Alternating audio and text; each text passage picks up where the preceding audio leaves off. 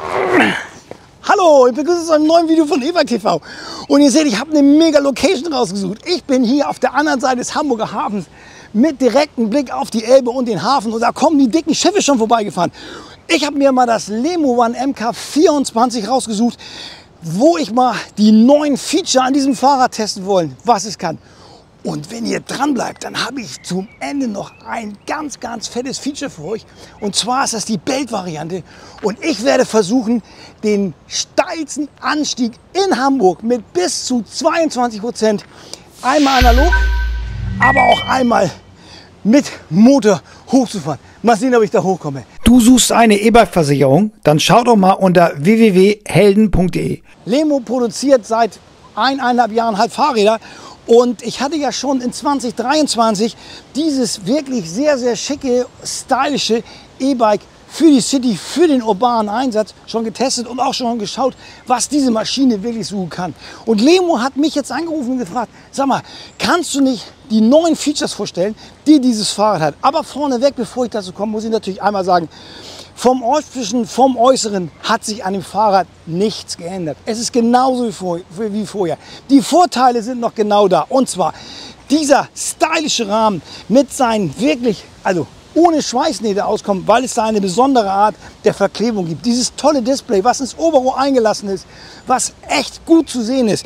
Dann natürlich diese anderen vielen Features, diese Farbfeatures mit dem Sattelrohr, mit dieser besonderen Art. Und natürlich auch, dass es das extrem leichte Gewicht hat, mit deutlich unter 20 Kilo, es sich sehr gut tragen lässt. Und am Ende auch, und das ist das besondere Feature an diesem Fahrrad, dass man das Fahrrad eigentlich als analoges Rad kauft, also ohne diesen Big Pack oder Smart Pack hier, wo die ganze Technik drin steckt und du es als allererstes mal analoges Rad kaufen kannst und es dann schon Preis hat wie wirklich analoge Räder. Und wenn du dann diesen Smart Pack noch dazu nimmst, dann wird es auf einmal zum E-Bike für die City, für den urbanen Einsatz.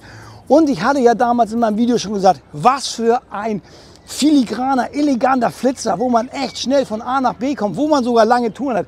Aber es hatte natürlich auch einen kleinen Nachteil, dieses Fahrrad, das kann man nicht anders sagen. Dadurch, dass diese Sitzposition so extrem sportlich ist, das Cockpit so schmal und man an dem Cockpit eigentlich praktisch auch nichts verändern kann, ist es halt immer noch ein sehr, sehr sportliches Fahrrad und das ist auch so geblieben. Ein Feature haben sie noch, aber das haben sie mir leider nicht geschickt. Sie haben eine Absenk- bzw. Sattelschütze, wo eine Federung drin ist, was den Komfort etwas erhöht. Naja, es ist auf jeden Fall so, von den Fahrleistungen super, von der Position könnte es auf jeden Fall für mich auch ein bisschen abgedatet werden. Ja, wenn wir einmal ganz genau hingucken, was gibt es denn für neue Features? Einmal ein Feature ist natürlich, dass die gesamte Steuer- und Antriebstechnik in diesem Smart Pack drin ist. Das ist einmal natürlich die Steuernheit. Dann ist es auch eine fette Powerbank, habe ich selber schon ausprobiert. Du hast hier die Klappe und kannst hier alle möglichen Kabel anschließen, um sozusagen dein Laptop, dein Handy, alles aufladen. Ähm, dann hat es als weiteres Feature, äh, du kannst du über die App dieses Apple Find My aktivieren und so kannst du immer, als ob du so ein AirTag drin hast, dein Fahrrad wiederfinden. Und jetzt komme ich natürlich zu den beiden fettesten Features, die dieses Fahrrad hat. Einmal hier vorne ein Klappmechanismus, um dein Handy da reinzuklappen und wenn du navigieren willst, deine Uhr ablesen willst oder gucken willst, wen du nicht sprechen möchtest, dann kannst du das da vorne einstecken. Und die zweite, das zweite Feature, was auf jeden Fall eigentlich das fetteste Ding ist, was sie haben, dieser tolle Hinterradmotor, der dieses Flip-Flop-System hat, wo ich da sozusagen auf analog und auf Antrieb stellen kann, der hat jetzt einen Drehmomentsensor bekommen. Wir hatten ja vorher der, immer dieses Thema, dass sozusagen der Motor echt schwer eingesetzt hat oder echt paar Umdrehungen brauchte. Das ist jetzt tatsächlich weg.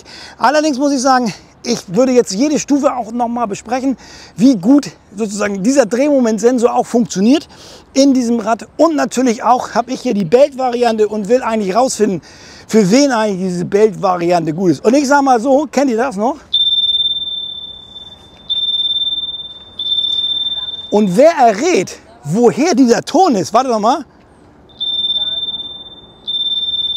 Ich sage nur Alex Christensen, der kriegt auf jeden Fall so ein tolles T-Shirt von mir geschenkt. Also wer als erster reinschreibt, wer, woher er diesen Ton kennt, der gewinnt einem so EMTB ein T-Shirt. Ja, um rauszufinden, wie gut der Drehmomentsensor und der Motor überhaupt funktioniert, will ich jetzt mal alle Stufen einmal durchfahren. Ich fange an bei der Stufe 0, also ohne Unterstützung und beschreibe einfach mal, was ich empfinde. Ich tritt rein und muss echt sagen, das ist wie damals beim BMX. Der Gang ist echt schwer und die ersten paar Meter sind echt anstrengend. Ich bin jetzt so auf 22, 23. Jetzt komme ich in den idealen Tritt. Das ist sehr angenehm und rollt, strengt aber trotzdem an. Und wenn ich jetzt noch die Frequenz erhöhe, was ja ungefähr höher schalten gleich kommen würde, dann muss ich echt ganz schön reintreten, um schneller zu werden. Und ihr hört das an meiner Atmung. Es strengt mich schon an. Und jetzt sollte eigentlich der Drehmomentsensor sofort reagieren und einen angenehmen Schub nach vorne leisten. Ich gucke noch mal nach hinten wegen dem Verkehr, weil hier auf der Elbchaussee ist richtig was los. Hier tanzt nämlich der Papst im Kettenhemd. Okay, ich starte von Null und ich merke gleich, dass der Motor natürlich mich viel angenehmer beschleunigt. Ihr hört das auch in meiner Atmung, dass ich viel weniger atme. Jetzt bin ich so in 23, 24, eigentlich im idealen Tritt, wo der Motor ganz viel schiebt und äh, ich eigentlich gar nicht machen muss. Und wenn ich jetzt schneller fahre, 27, 28, das Übertreten, das macht dann echt einfach und macht viel Spaß. Der Drehmomentsensor schlägt voll ein und funktioniert echt gut. So, jetzt nehme ich die Stufe 2 und jetzt muss mich natürlich die Beschleunigung, oh ja, das merkt man deutlich, ganz anders, noch viel angenehmer zu Beschleunigung, gleich auf die 24 und ich gleite echt angenehm dahin, noch viel angenehmer als in der Stufe vorher. Und wenn ich jetzt einen Sprint fahre, dann kann ich hier voll rausziehen und kann bis 35 rausbeschleunigen. Hier passt Motor und der Riemen wirklich sehr harmonisch und gut zueinander und ersetzt eigentlich die Gangschaltung. Ja, jetzt habe ich in Stufe 3 geschaltet und das Stufe Stufe 3 und das ist natürlich Königsdisziplin, wo der Motor mit voller Leistung mich nach vorne beschleunigt. Ich schaue wieder nach dem Verkehr und passe genau die Situation ab zwischen Tod und Mord und fahre jetzt los. Und jetzt wirkt er ein bisschen rauer, aber er fährt gut los. Das ist natürlich nochmal ein ganz anderer Schnack, wenn der Motor volle Leistung hat. Ich bin sofort auf 27, 28. Das ist echt angenehm und kann so hier ganz entspannt rollen. Kurz über den Punkt, wo der Motor normalerweise aussetzt. Und ist natürlich ein idealer Begleiter für längere Strecken, wenn man sich nicht anstrengen will. Auch wenn ich hier einen Sprint fahre, der beschleunigt mich natürlich hervorragend. Auch hier natürlich stark ist. Ja, kurzes Fazit zu dem Drehmomentsensor.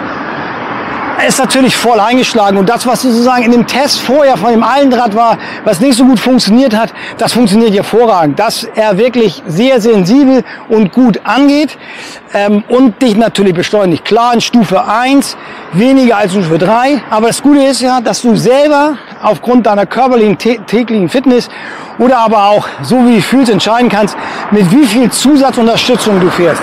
In Null ist es so, da würde ich es auf jeden Fall lassen, auf jeden Fall nicht, aber nur, wenn man ziemlich sportlich ist. Und ich werde jetzt nochmal die Hardcore-Challenge machen, bis zu 22 Prozent hochfahren mit der Kiste. Ja, da ist er, der steilste Berg Hamburg mit durchschnittlich 16 Prozent und an der steilsten Stelle 22. Ich habe mir die steilste Stelle hier mal rausgesucht und mal gucken, ob ich mit dem Lemo in der dritten Unterstützungsstufe hier hochkomme. Oh, oh, ich komme ja noch nicht mal angefahren. Da müssen wir anders machen. Wir machen die Serpentintechnik.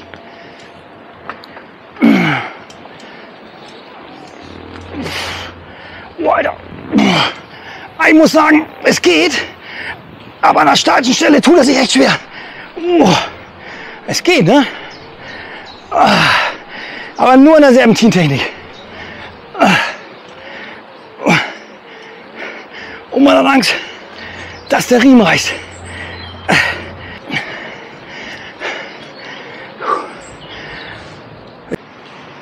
Ja, ich habe jetzt mal mein Handy hier reingeklemmt und ich finde das nicht so vertrauenswürdig, weil es auch ziemlich wackelig ist. Das, was ich mir denken würde, wenn hier unten so ein kleines Gummi wäre, dass sozusagen das Handy hier nicht rausrutschen könnte, weil nach oben wird es ja nicht wegrutschen, dann wäre es okay. Dann würde ich sagen, dann ist es äh, gut. Aber diese Klammern sind nicht, halt nicht so. Also ich finde es auf jeden Fall so. Aber ja, meine Kaufempfehlung, du kriegst halt für 2400 Euro echt mal ein fettes Ding. Natürlich alle Leute, die richtig stylisch in, draußen in der City im urbanen Bereich unterwegs sein sollen, weil das ist es. Diese Funktion mit dem Alarm und Abschließen haben die super gemacht. Dass man auch diesen Pack rausnehmen kann, den auch mieten kann, finde ich auch super. Dann diese ganze, die ganze Rahmenform mit den, wo du keine Schweißnähte hast, super. Und natürlich am Ende des Features, dass du es auch einfach analog fahren kannst. Und das mache ich oft so, dass ich den Motor gar nicht anmache und halt analog mit dem Fahrrad fahre. Super. Und natürlich dieser, dieser Ton, den finde ich natürlich hammer, hammer hart. Nach wie vor ist es natürlich noch ein sehr sportliches Fahrrad, was auch sozusagen sportlich gefahren wird. Wenn ich jetzt sozusagen auf den Belt komme, am Ende, dann muss ich sagen, wenn du das Rad als analoges Rad benutzen willst, lass das mit dem Belt einfach sein. Das macht überhaupt keinen Sinn, weil die Übersetzung halt so gewählt ist, dass du am Ende echt hart reintreten musst im Mittel eigentlich ganz gut trittst, aber wenn du wirklich schneller fahren willst, dann fehlt einfach noch der kleinere Gang oder der größere Gang, um halt einfach weiterzufahren. Aber in Kombination mit dem Motor und den drei Stufen macht es schon wieder eher Sinn und dann komme ich darauf, wenn du nicht die harten Anstiege hast bei dir zu Hause, also wenn es wirklich wie eben am Berg gesehen so steil berghoch geht, dann brauchst du das Rad auch nicht. Aber wenn es vielleicht so leicht, vielleicht um 5% ist da, wo du fährst, dann kannst du natürlich mit dem Belt auch zurechtkommen. Und dann ist natürlich der Belt auch einfach so gut gemacht, Belt meine ich natürlich immer Riemen, dass du auch einfach hier eine Sorglosmaschine hast. Du musst die Kette ja, bzw. die Belt nie nachstellen, musst nichts machen und kannst eigentlich die ganze Zeit fahren. Rundum ist es immer noch ein starker Cityflitzer und die beiden Neuerungen, muss ich natürlich sagen, das kann man hier kritisch sehen. Ich würde mein 1000, 1500 Euro Handy jetzt da nicht einklemmen, weil ich einfach Schiss hätte, dass es irgendwann runterfällt, auch wenn es nicht so ist und ich es versichert habe. Aber alles, was um den Motor ist, mit dem Drehmomentsensor, das hat sich wirklich gelohnt, dass es so ist. Dass ähm, der Motor einfach viel mehr Flexibilität und also viel mehr Power gibt und das Rad hat viel alltagstauglich gemacht. Rundum Welling zwei gelungene Features, die sich hier eingebaut haben. Aber ich fahre jetzt noch mal zu mir meine, meine Werkstatt und überarbeite das Fahrrad noch mit zwei kleinen Sachen und guck, wie viel besser es dann auch noch fährt. Also vielen Dank dafür, dass ihr mir zugesehen habt. Lasst ein Like da, ein Abo, schreibt eure Kommentare zum Fahrrad. Und wer so ein tolles T-Shirt haben will und es nicht gewonnen hat, der kann es natürlich auch in meinem Kanal kaufen. Also vielen Dank dafür. Ich verabschiede mich hier mit der besten Aussicht, die Hamburg zu bieten hat, direkt über die Elbe in Hamburger Hafen rein.